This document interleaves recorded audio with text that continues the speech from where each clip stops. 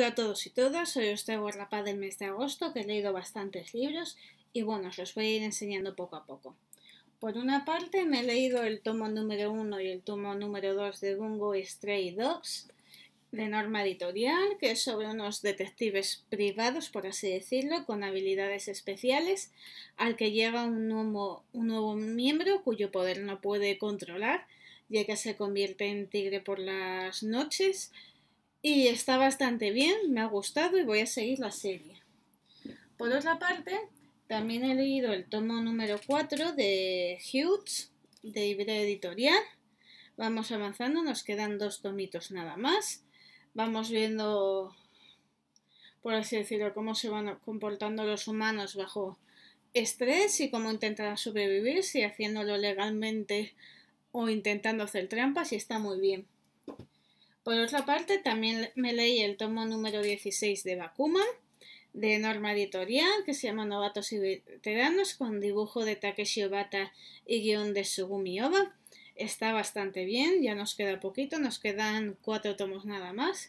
Me ha gustado bastante, ya que en este se presentan nuevos retos que veremos si los consiguen superar y se unirán prácticamente todos los mangakas. Luego también por otra parte, Leí Ensayo sobre la ceguera de José Saramago, que es un premio Nobel de Literatura de editorial de bolsillo. Y bueno, este me ha gustado bastante. Representa bastante la sociedad como está ahora, que está bastante ciega sin querer ver y son muy pocos los que ven. Lo único que no me ha gustado del libro es que a la hora, sé que es un ensayo, pero a la hora de los diálogos no estoy acostumbrada a verlos sin separar y sin guiones, y aquí te lo presenta todo seguido con lo cual al principio te cuesta un poco, pero es un libro que está muy muy bien. También leí Cartas de Amor a los Muertos de Abadelaira, con traducción de Ice Salaver de Nocturna Ediciones. Y bueno, este es un libro que me ha gustado bastante, va dirigiéndose a varios muertos como Kurt Cobain, Amy Winehouse y varios muertos más. No sé si encontré alguno más, Janis Joplin por si acaso.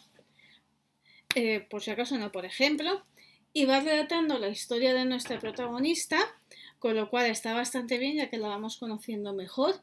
Además se hace muy ameno ya que son cartas que no suelen ocupar mucho, como mucho 5 o 6 páginas.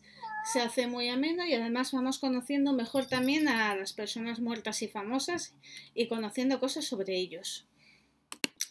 Otro de los libros que me leí fue el tomo número 17 de Bakuman, de Sugumi Oba y, tu, y de, sí, de Sugumi Obi y de Takeshi Obata, que se llama Oportunidad y Autoconclusivo, donde veremos que vuelve a reaparecer el tío del mangaka y vemos cómo se van.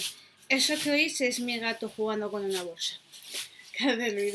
Y bueno, eso, donde veremos que le aparece el tío del mangaka y veremos cómo utilizar una técnica que utilizaba y que funcionaba bastante bien. La verdad es que es una serie que me está gustando, ya le quedan poquito, tres tomos, y a ver qué pasa, cómo acaba. Y otro de los libros que leí fue el de Más allá del invierno, de Isabel Allende, de Editorial Plaza James. Este había salido en junio, a principios de junio, no me acuerdo exactamente el día, pero no lo había leído hasta ahora, lo había ido retrasando porque eh, quería disfrutarlo al máximo y es un libro que no me ha decepcionado nada, donde vemos que Isabel Allende cada vez se introduce más en el tipo de suspense, novela negra y demás, pero siempre poniendo su propio toque. Además, con tres personajes muy claramente diferenciados que verán sus vidas entrelazadas y me ha encantado. Bueno, seguimos. He leído por otra parte este libro, el de Escape Book, de Iván Tapia, El secreto del Club Stein, que es un libro basado en los famosos juegos de los Escape Rooms. Es un libro que nos va contando una historia en sí, pero a la vez, antes de que se le agote el tiempo de vida a nuestra protagonista, tenemos que ir resolviendo enigmas y tenemos que ayudarla. La verdad es que es un libro que está genial. Creo que ya habréis visto o estaréis a punto de ver el, el mapa del libro con ejemplos y todo, pero es un libro que si os gustan los escape rooms os lo recomiendo totalmente. Luego tenemos también por otra parte este otro, que es Los instrumentos del mal de Imogen Robertson, de Editorial Factoría de Ideas. Es un libro que al estar basado en, en el siglo XVIII no me llamaba mucho, pero a la vez me llamaba porque contaba misterios, asesinatos, tramas y demás. Y es un libro que me lo he leído en una semana trabajando, tiene 300 páginas o 300 y algo. 326 me lo he leído, yo os digo, una semana, algo menos. Y es un libro que me ha encantado, que os recomiendo, porque si os gusta lo tipo thriller de investigación y asesinatos, este libro es para vosotros. También por otra parte me he leído este que es finito, que es Reading the Ballet, Montando la Bala de Stephen King. Es el tercero que leo de este autor. Me ha encantado, nos cuenta la historia de un chico que tiene que hacer autostop para llegar al hospital donde su madre ha sido ingresada y se encontrará con curiosos personajes y extraños. Incluso uno de ellos le hará que tenga que tomar una decisión en un tiempo determinado y no sabemos si el personaje principal se equivoca o no se equivoca tomando su decisión. Es un libro que recomiendo totalmente.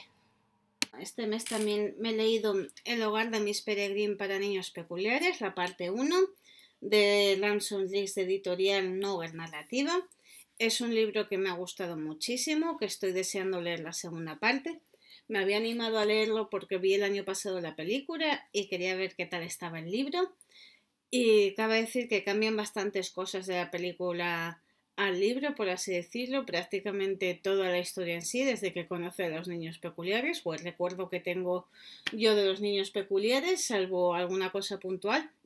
Pero es un libro que me ha encantado, que viene con fotografías, perdón, viene con fotografías y además es una historia que está genial y que engancha desde el principio.